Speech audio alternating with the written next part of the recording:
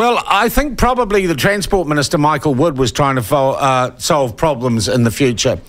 When he agreed to meet, and we had these people on the program um, with a group called Restore Passenger Rail, who had been a complete pain up the bottom to Wellington commuters for weeks. When was this? About three weeks ago, Kelly? Four weeks? September. Oh, it was September. And they were, I know, they were gluing them, super gluing themselves to roads. They were absolutely, they were just messing up commuter traffic, supposedly, supposedly because rail has stopped in Wellington, which of course it hasn't. Um, and really, we interviewed them. We found that they were just a bunch of extreme greenies and associated, I think, with the Green Party or with Greenpeace. Um, while the government considered the people at the front of Parliament during the occupation to be a river of filth, they took quite a different attitude with the group Restore Passenger Rail.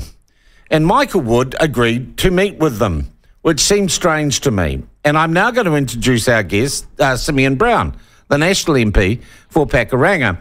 And Simeon, I presume that Michael Wood met these people who had disrupted hundreds of thousands of commuter journeys he met them in the hope that they wouldn't do it again because they said, We're protesting to get a meeting with the minister. Would you have done the same if you'd been the minister, Simeon? Look, uh, great to be on your show, Sean, as always. Uh, look, no, I would not have uh, done the same as them. Michael Wood was, um, as you mentioned in your intro, the uh, the the minister who, who called the protesters out the front of Parliament a river of filth um, because they were disrupting the lives of Wellingtonians. But then he was more than happy to uh, meet with a bunch of uh, protesters who had disrupted the lives of tens of thousands of Wellingtonians on the motorways. It's, it's incredibly inconsistent and hypocritical. Yeah, it was. Do, do you um, think that's because they were associated with the Green Party or Greenpeace? Well, I think he, I think he genuinely thought that these people would, um, would, would, would, would, are nice people. I, I don't, I don't see, think he actually sees a pro- too much of a problem with what they were doing. It took him a while to actually go out and criticise uh, their actions. Um, and I think he genuinely thinks they're nice people. Well, the reality is they've been causing all sorts of mayhem. They've been stopping people get to hospital appointments, get to work, get about their daily lives. They are uh, expert radical disruptors, um, and actually they should have consequences, not cups of tea. But he didn't get what he wanted out of the cup of tea, did he? They said they well, wanted a meeting and they'd stop breaking the law. He has well, the cup of tea, and what's what, what's the outcome? Well, they've now said that they, they didn't like how the outcome of the meeting was uh, and that they're going to continue their disruption at some point in the future. And so, what I think, uh, you know, we've all got to fear is more of the same, um, which just shows what a, what, a, what, a, what a stupid decision it was for Michael Wood to get involved in this dispute in the first place. He should have ignored them. Uh, and left it to the police to deal with, as uh, these people are actually all being charged for different various offences personally, the National Party or the National Party doesn't think that the offences are, are tough enough. Um, actually, if you're going to glue yourself to a motorway, there should be uh, more serious consequences than what they are facing. But um, but you know, this is this is the, foolishness of Michael Wood and, and, and how he thinks he could have solved this problem. He's probably just made it worse. Yeah. Okay, uh, Simeon, but where do we draw the line? Because I think people turn up to protest. Sometimes their groups aren't well formed, sometimes their thoughts aren't well formed. But people in positions of power, I feel, have a right to at least inquire as to what they want and what their beef is.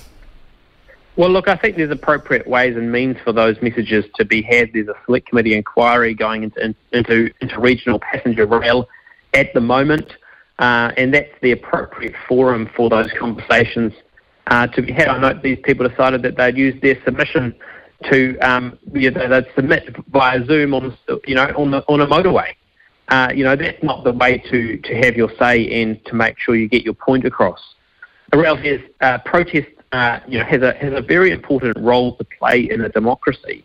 However, when you're going to glue yourself to a motorway, um, that's gone too far, and the real, the there are consequences already for those sort of behaviours. Um, but I think there needs to be more serious consequences, particularly if they're going to continue to threaten uh, breaking the law, which um, you know is what I've heard them say they're going to do. Um, are they terrorists, Simeon? Look, I wouldn't use that term. I think that's that's, uh, that's a pretty you know serious uh, term to use. But what they are doing is causing significant disruption. Uh, but you know, gluing gluing themselves to um, to motorways, uh, and you know these are these are routes which are used by tens of thousands of people to get around their daily lives. Their freedom of movement has been compromised, um, and so the, you know they are causing significant disruption. They're radical disruptors, is how I would describe them, and um, and they need to be held accountable for those actions, particularly if they continue to do them. Yeah, Simeon, look, while we've got you here, and thank you for clarifying on that issue, and it was because he's the guy who used the river of filth analogy, it was just such high, the height of hypocrisy by uh, by Wood. I well, want this, to talk. Well, this government does have a have a, have a, um, a, history of meeting with all sorts of interesting people. You do remember they met with the mongrel mob last year as well. Yeah, yeah. Simeon, I want to talk about Nanaia Mahuta because I know you have been one of the national MPs who has uh, forced an inquiry which doesn't seem to actually be making any progress. And yesterday, a full port, uh, court press uh, by Luxon and Seymour uh, because it appears that Nanaia Mahuta um, may have misled the Prime Minister and her caucus uh, in mm. backing or acquiescing to the Greens entrenchment uh, provisions in Three Waters, which is being rolled back. It just seems to me that she has some special protection from accountability. Well, well, the reality is that um, Prime Minister at the moment is backing her minister, but um, you know the, the political uh, the, po- the politics of this is, is quickly moving. I think underneath the Prime Minister, and that New Zealanders are very much aware of what Nanaia Mahuta um, sought to do by trying to entrench the law, going against the cabinet, uh, bre- breaching the cabinet manual, and um, and I think you know ultimately we're calling for the government or the Prime Minister to sack her and the reality is, um, you know, as the pressure continues to build, I think at some point the Prime Minister will have no other choice um, but to do just that. You've, you've been around politics long enough to see how these things, uh, how these things go. Yeah, but sometimes, um, and I think also looking at the polls, a government just doubles down in its dying days. Well, and look, I mean, this government is looking increasingly desperate, is, is the way I would describe it. They're becoming more ideological, increasingly desperate. Um, but you know, this is um, you know, Nanaia Mahuta is, has got uh, a certain power base within the party that can't be denied as well. Mm. So there are certainly internal uh, issues which are coming to the fore, uh, and you know, our job as the National Party is to hold them to account and to you know, stand up for the principle of equal citizenship. Okay, to, look, seeing you mentioned equal citizenship, um, we had uh, Ro Edge um, from the Save Women Sport Australasia group on this morning. And she mm. expressed disappointment at the National Party's reluctance to engage on these absolutely BSHIT crazy uh, guidelines released uh, by Raelene Castles from Sport New Zealand regarding transgenderism in sport. Um, does your caucus have a response to that absolute lunacy? Well, look, I haven't. I'm not. I'm not across the detail of that particular issue. Um, it's not in my portfolio area, but I mean, I've I've been clear in terms of in terms of my views on this this issue, and that um, you know there's a difference between gender identity and between uh, what someone's biological sex is. These are difficult issues, and um, they need to be very carefully thought through.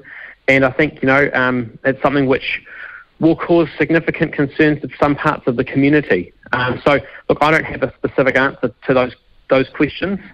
Um, Take it to caucus, let, it'll be good for you guys to come out with a position on it. Look, I, I will be. I'll, I'll, raise that with our spokesperson. Good on you. Um, and meantime, Simeon, what do you think should happen next time these um, restore passenger rail people um, block a Wellington motorway or an arterial route?